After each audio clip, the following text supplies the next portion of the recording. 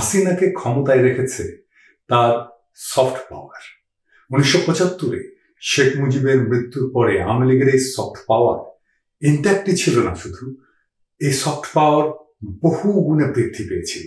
এখন প্রশ্ন করতে পারেন সফট পাওয়ার কি? সফট পাওয়ার হচ্ছে সেই ক্ষমতা যা আপনাকে শক্তি প্রয়োগ ছাড়াই জনগণকে নিয়ন্ত্রণ করার ক্ষমতা দেয়।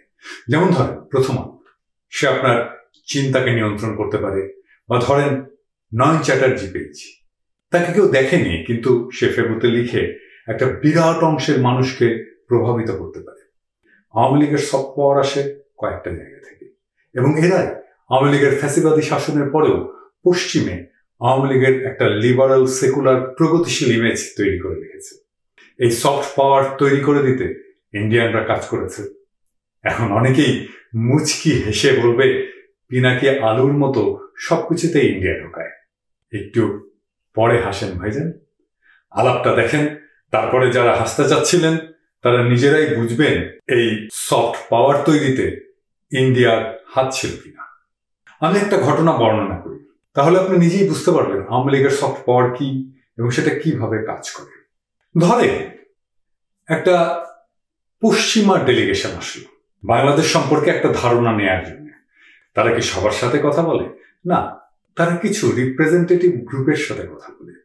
তারপরে তারা বাংলাদেশ সম্পর্কে ধারণা নেয়। তারা কার কার সাথে কথা বলে, তারা কথা বলে মিডিয়ার সাথে। এই যে, দেখেন, এদের সাথে কথা বলে। এরা কি বলে আওয়ামী লীগ শাসন সম্পর্কে সেটা কি বলে দিতে হবে? কথা বলে নারী নেতৃত্বের সাথে। এই যে, এদের সাথে। কি বলে এরা আওয়ামী লীগের শাসন সম্পর্কে সেটা তো জানেনি। কথা বলে সংখ্যালঘুদের সাথে। এই যে, এদের সাথে।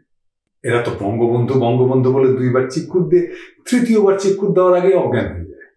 কথা বলে বুদ্ধিজীবীদের সাথে। এই যে, এদের সাথে কথা বলে। কথা বলে সাংস্কৃতিক জগতের সাথে। এই যে, এদের সাথে কথা বলে। কথা বলে মানবাধিকার সংগঠনের সাথে। এই যে, এদের সাথে কথা বলে। এরা সেই মানবাধিকার সংগঠন। এই সুলতানা কামাল এসছিল প্যারিসে। এসে বলে ইসলামী জঙ্গিরা বাংলাদেশে মানবাধিকার লঙ্ঘন করতেছে।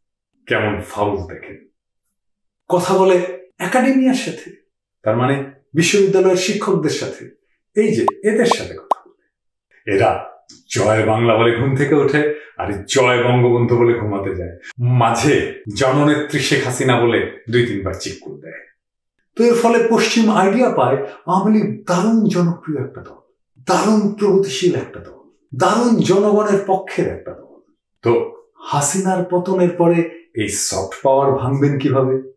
এই যে সাংস্কৃতিক পরিমণ্ডল গড়ে তুলেছে তারা, এটা তো ক্ষমতা চলে গেলেও ইন্ট্যাক্ট থাকবে। এই সফট পাওয়ার তাকে আবার ক্ষমতায় নিয়ে আসবে। শেখ মুজিবের মৃত্যুর পরে আপনি একটা আওয়ামী লীগ খুঁজে পেতেন না।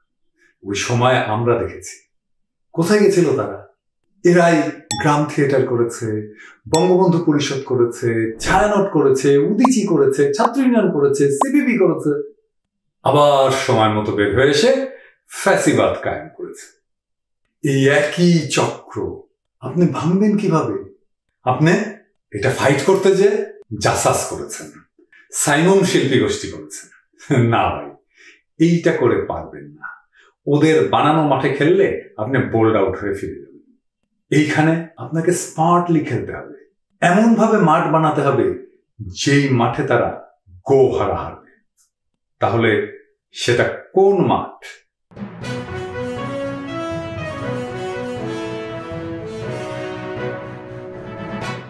সেই মাঠ কি? হাসিনার পতনের পরে আমাদের সেই মাঠ বানাতে হবে। সেই মাঠ হচ্ছে মানবাধিকারের মাঠ। এই মাঠে আপনি চ্যাম্পিয়ন হতে পারবেন। দেখেন, আমরা খুব একটা জাতের হিউম্যান রাইটস অ্যাক্টিভিস্ট না, কিন্তু আমরা যেটুকু রাইটস অ্যাক্টিভিজম করছি, এইটা দিয়ে একেবারে মাজা ভেঙে দিছি হাসিনা সরকারের। এখন আমার শত্রুরা বলবে, হাসিনার মাজা ভাঙছে গপ্প শুনে জি ভাই, ভাঙছে। ওই ভাঙা বাকশালী চোখ দিয়ে দেখা যায় না। হাসিনার পতন হলে সেই মানবাধিকার লঙ্ঘনের শামুকে পা কেটেই হাসিনার পতন হবে। আপনার লড়াইয়ের বৈধতা, হাসিনাকে উৎখাতের বৈধতা দেবে তার হিউম্যান রাইটস ভায়োলেশন তো তাহলে আপনি কি সুলতানা কামালের মতো একটা হিউম্যান রাইটস অর্গানাইজেশন করবেন?